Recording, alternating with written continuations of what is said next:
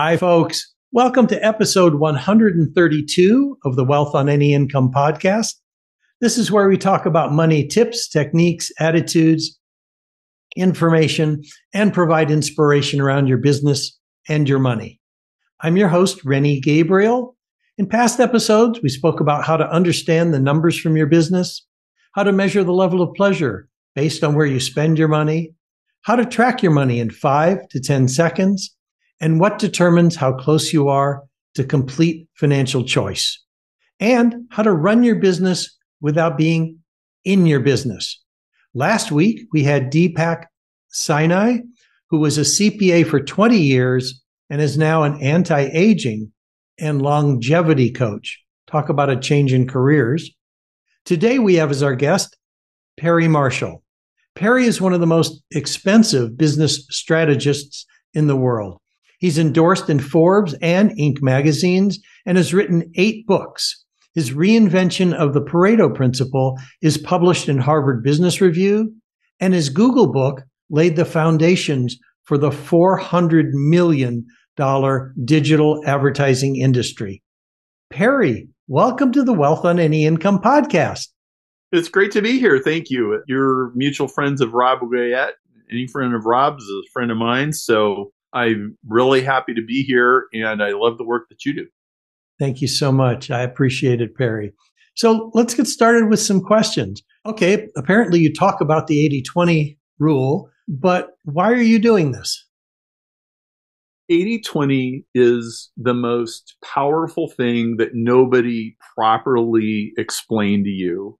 My kids all understood 80-20 by the time they were seven years old. I, I think it's it's literally that important because most of what you do produces very little and a very small amount of what you do produces a lot. And most people treat their time and their activities and their priority lists as though everything's equal and nothing could be further from the truth. In fact, nothing's equal and nobody's equal uh, in the in the economic sense. I don't mean in in the sense of being valuable human beings or made in the image of God. That's that's a different conversation, and I'm very happy to have that conversation. But but from this, if you if you hire ten salespeople, two of them are guaranteed to outsell the other eight put together.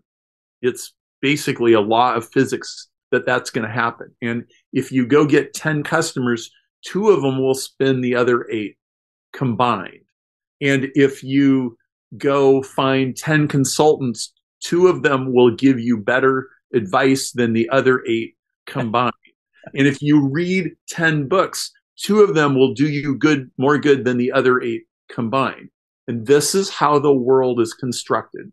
Uh, Vilfredo Pareto figured this out about 100 years ago. He figured out that 20% of the people control 80% of the wealth and 80% of the people only control 20% of the wealth and it's true across all countries and if if you take another step in really looking at what he said it means the haves have 16 times more than the have nots and the good books do you 16 times more good than the bad books and the good salespeople sell 16 times more than the bad salespeople. And this applies to everything you can measure in business, just about. And when I finally saw this for what it was, my brain melted. And so this is one of the most important conversations we could possibly be having and and that's a reason to have this conversation. Yes. and that's why when you were talking to rob about this i said oh i want you on the show. Yes. Yes. And, it, it's a very exciting topic and it, it it just never stops getting deeper. So yeah. i can't wait to just roll up our sleeves and get right into it. Terrific. So you're probably aware if you noticed uh, in my emails that i donate 100% of the profits from the work i do to animal and veteran charities. And so tell me about a cause that you support. I founded a charity a couple of years ago. It's called reversingcancer.org.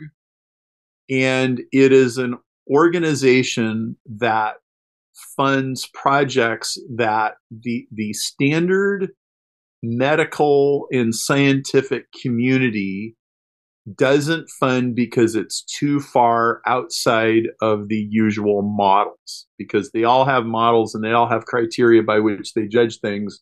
We have somebody who is literally reversing inducing and then reversing cancer in amphibians at will. I have a woman uh, at columbia university in new york who has figured out how to detect cancer as stage negative one. And inside the cancer industry everybody knows that there's no money in early detection. Mm.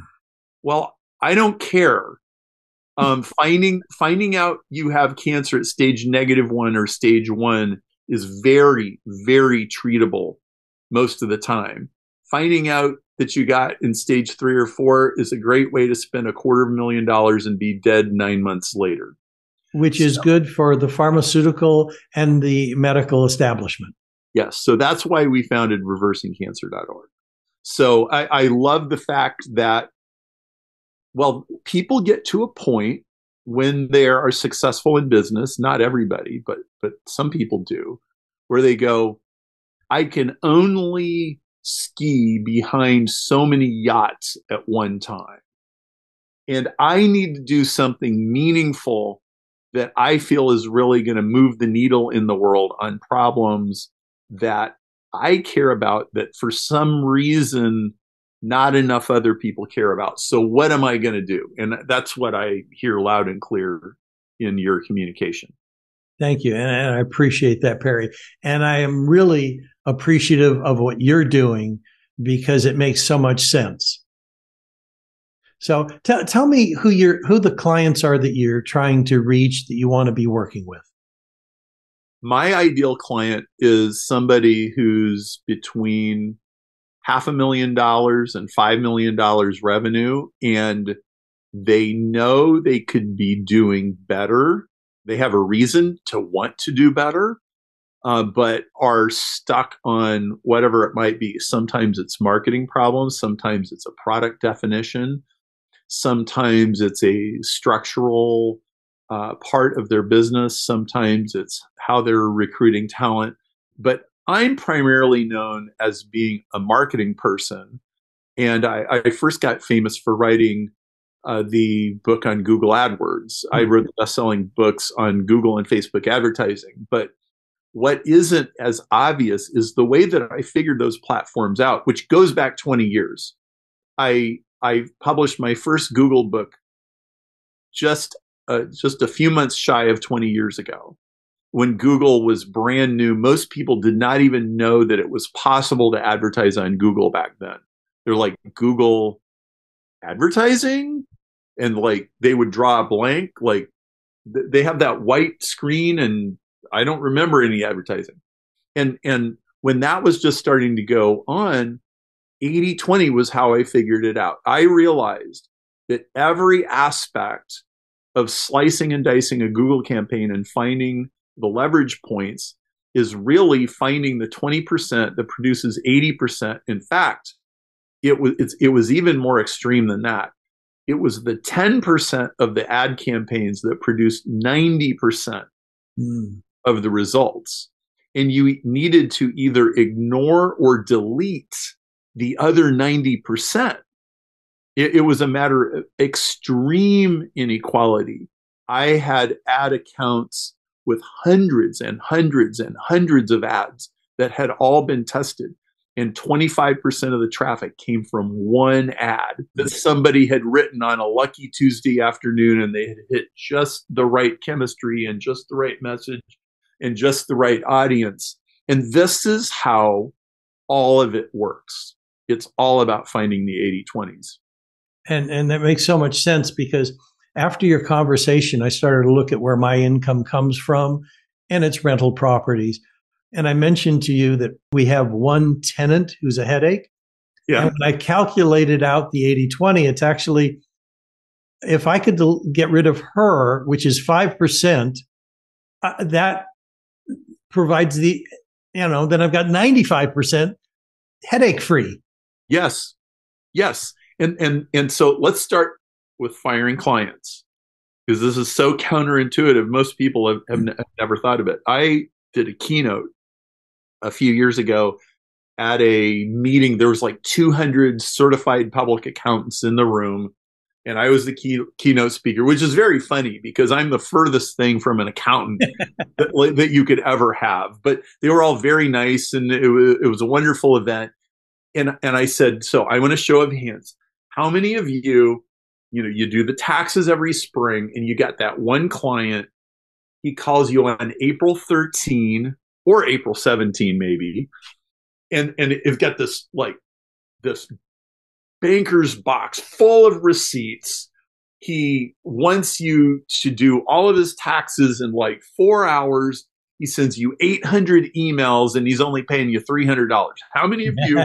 and, and like all these hands go up. And I said, I, Perry Marshall, best-selling author, keynote speaker, give you permission to fire that client. You don't have to be mean about it. You don't have to be nasty. You just send them a letter. Hey, um, you know, my my board of directors, that's you and your wife, were reviewing our business and we realized there's some accounts that we're just no, going to be no longer able to service. And um, I, I, am sending you, all of your records and here's a list of some other accounts you could consider. And thank you very much for your business. I said, the minute you send that letter and get rid of that client, your income went up and your work went down.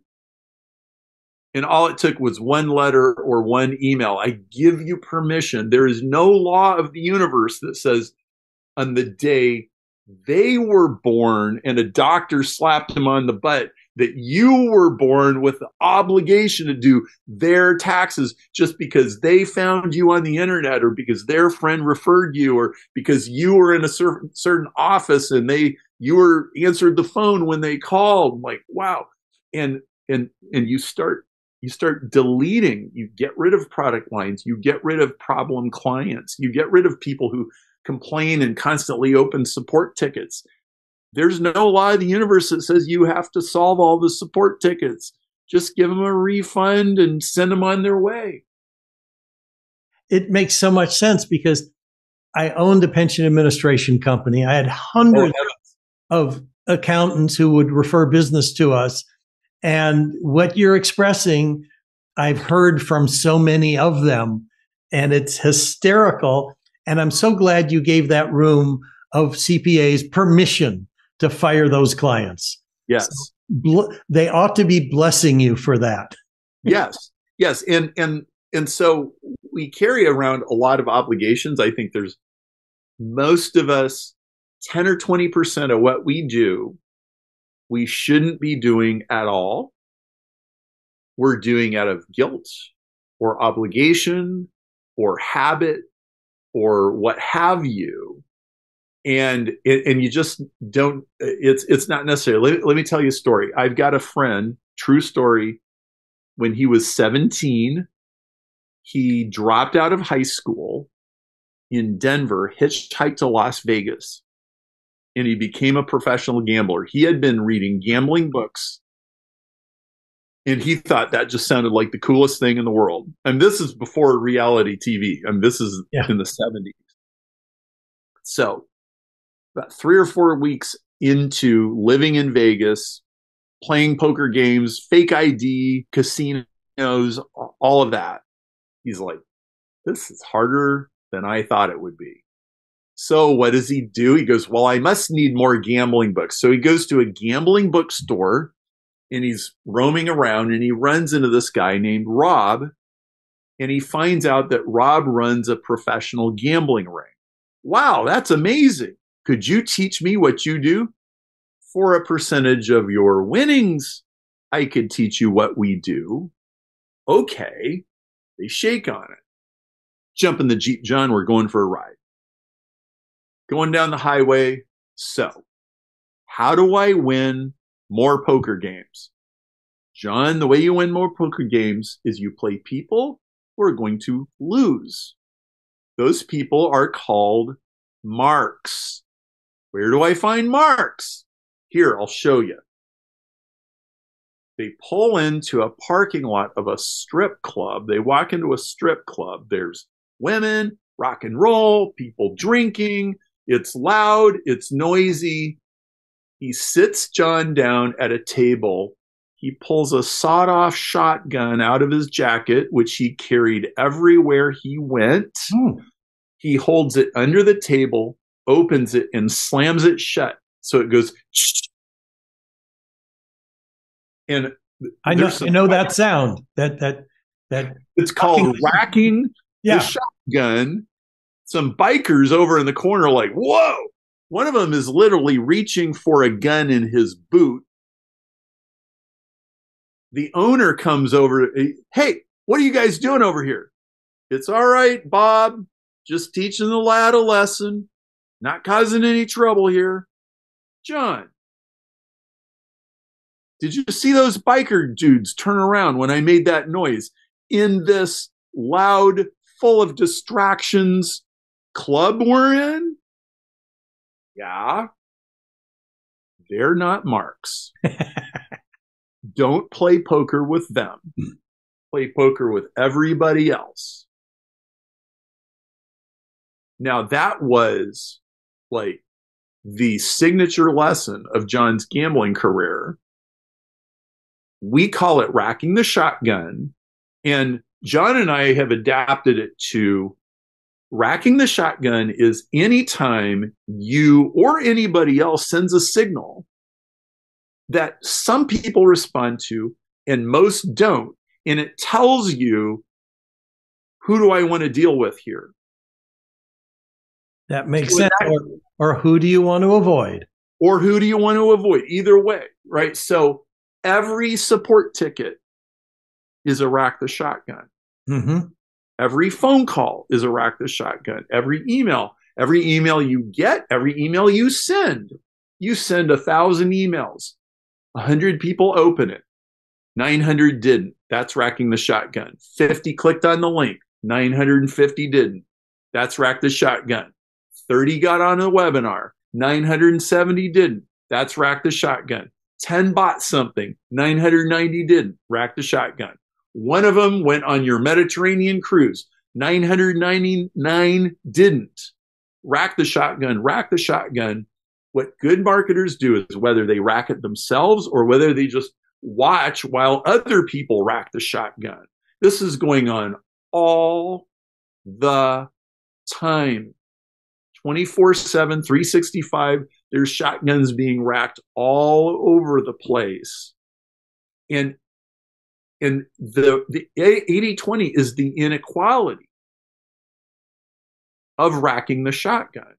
80-20 says the responsive people are 16 times better than the unresponsive people. But here's the kicker. This is where it just gets insane. The top 20% of the top 20% are another 4x. Hmm. 64x. And then there's a top 20% of the top 20% of the top 20%, and that's 256x. And I'm not kidding. I'm not joking. I'm not exaggerating. There, there's no hype in this.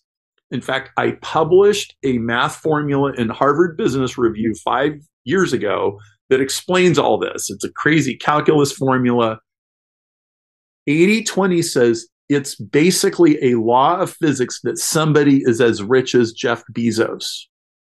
It's a law of physics that somebody is, as rich as Elon Musk. This podcast is called wealthonanyincome.com. What so if I could give my interpretation of the name of your podcast, it's the top 20% of the top 20% of whatever group of people that you're a part of if you go to the tippy top okay even even the poorest guy who owns laundromat uh, sorry I'll verify this. When I started from broke at age 50, I was earning 5000 a month. Hmm. I set aside $500 a month, but I didn't do what needed to be done in real estate by myself. And within eight years, I went from flat broke at 50 to by age 58, a multi-million dollar net worth based on saving that $500 a month.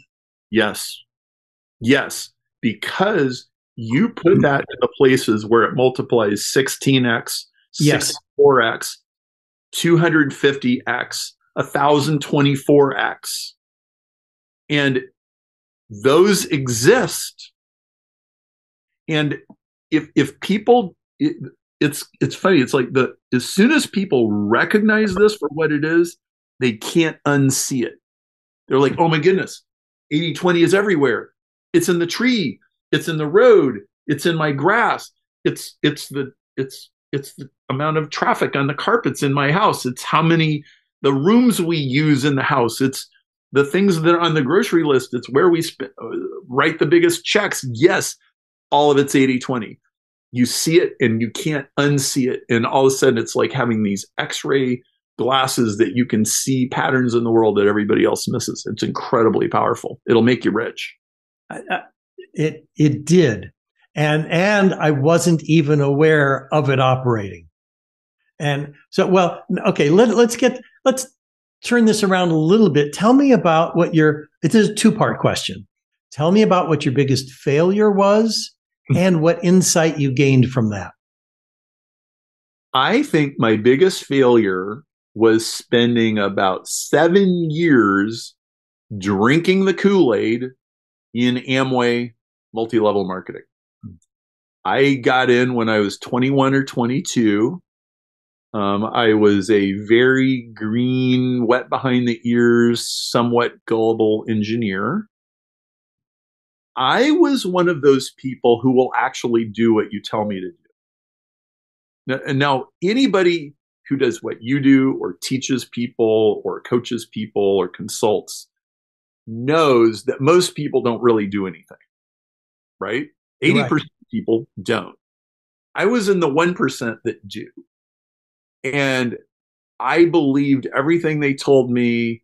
And when it when it wouldn't work and they told me it was my fault, I would just work harder. And then they would tell me it was my fault and it wasn't their fault. And then I would work harder. And this just went on and on until I had exhausted every possibility. And I finally convinced myself, you know what? This thing didn't work. This works. This works about one one hundredth as well as they say it does. And whatever magic pixie dust it takes to make this work, I don't got it. and um, and so I was stupidly persistent. And look, persistence is a great thing, but sometimes you just got to quit. 80 20 says what you quit is more important than what you do. It's what you say. You can't say yes to everything. So you have to say no to a lot of things in order to make a great investment. I've got a good friend, Richard Koch, who's worth about $2 billion. And he wrote the original 80 20 book. It's called The 80 20 Principle. It came out a little over 20, about 25 years ago. Richard is an equity inv- uh, investor he's like he's like a little smaller than a venture capitalist, let's say. And the way he's got a set of criteria for investing, and the, the most important thing that you need to know about his investing is it's no, no, no, no, no, no. And once in a while, there's a yes. As best I can recall, I think he's made less than 25 investments in 30 years mm. and gone from 4 million to 2 billion in 30 years. Mm-hmm. What you don't invest in is at least as important as whatever you do invest in. But this is not how most people think. No, and I agree because I was an angel investor for a short time and found out you can lose a lot of money. And yeah, I won't tell you how much, but but it was a lot. Oh yeah. All right. Well, okay, we're we're coming up to the close here. And so what I want to know is how can people who want to know more about this, know more about you, what you have to offer, how do they get a hold of you? What what free resource can you provide that'll be the right thing for people, or even if it's a penny for a book? um, go to the link that you give in the show notes and you can get my 80 20 book for a penny plus shipping. So in the US, it'll cost you 7 mm-hmm. bucks. In international, it'll cost you 14. Whereas it's about 20 on Amazon and it'll come with some extra videos that you don't get if you buy it at the bookstore. And 80 20 sales and marketing will change your life. It will change your life. You will never see the world the same. You'll never see a spreadsheet the same. You'll never see employees the same. You'll never see support tickets the same. You'll never see salespeople the same. You'll never see advertising channels the same. And when you find that tiny hinges swing big doors, tiny hinges swing big doors. Uh, Rennie, you were talking earlier. If I go through your investment career, you go from broke at age 50 to millionaire at age 58, there's about five or six key transaction yep. twists in the road. It was and you can name them. It was yeah. this and this and this and this. And they cascaded and multiplied. And what seemed impossible was suddenly as easy as iced tea. You're absolutely correct. I can identify those small hinges that moved the big doors and went from broke to multi-millions in, in yes. eight years. And and the first three years was nothing more than creating $18,000. Mm. But once that was deployed, mm-hmm. things turned around quickly. Amen. it's, well, it's not some mystical fairy dust thing. The world is a rational place. It runs on rules, it runs on principles. And the 80-20 principle is the it's the best principle I know how to teach in business. And and thank you because I am reading your book. I did get a copy and I'm saying, oh my gosh, you know, when you talked about fractal, which we're not going to get into, I was saying, oh, this is a natural law. Either yes. you fight nature yes. or you use it to your advantage. It makes so much sense.